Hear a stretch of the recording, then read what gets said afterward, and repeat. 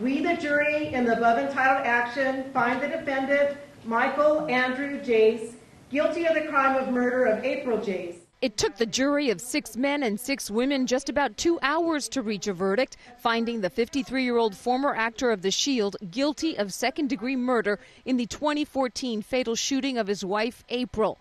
It happened in their Hyde Park home with their two young sons in the house.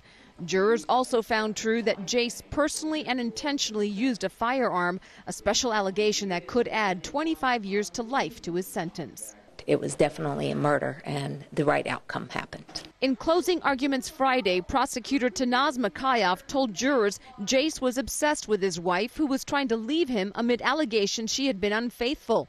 While Mokayef argued Jace had planned the murder, the defense countered it was not premeditated, that Jace was trying to save his marriage, but in that confrontation, he snapped. It's really hard to come up with words for it when you when you've done what you've done and have to deal with the consequences. But um, he understands second degree, and his big thing was it wasn't premeditated. The verdict comes just days after critical testimony by Jace's 10 year old son, who recounted hearing his father tell his mother, If you like running, run to heaven, before shooting her in the leg.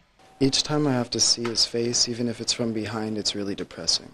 In court today, April Jace's 20 year old son from her first marriage telling us he's happy with the second degree murder verdict. Finally,